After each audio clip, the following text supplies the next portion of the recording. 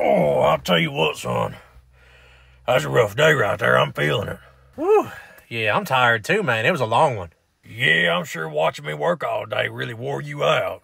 What are you trying to say, man? I was here all day helping you. Well, now, I do agree that you were here all day, but I would not agree that you helped very much. How did I not help you? I literally did everything you told me to when you told me to do it.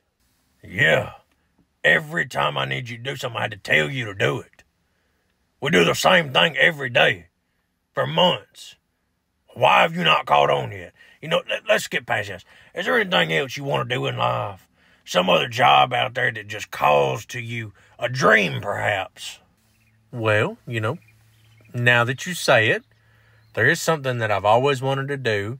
And, you know, I really do think I could do it if I just set my mind towards it.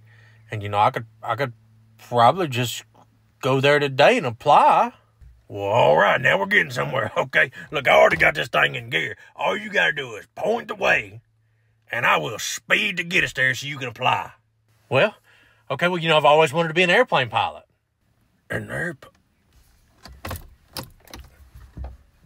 Son, the truck is back in park. Let me explain something to you. Just because your head is in the clouds all day, don't mean you will be too. I need you to have a realistic goal here because you're not going to be an airplane pilot.